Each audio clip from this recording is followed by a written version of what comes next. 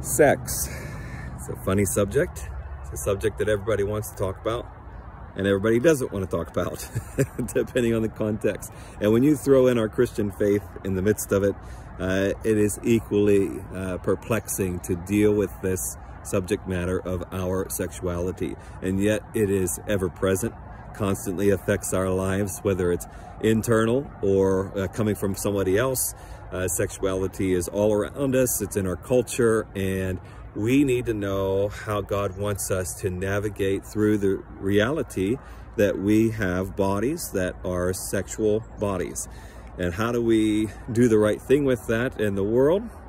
Even in the church, we've done things that have created a lot of confusion for us, and we want to know how to navigate that well.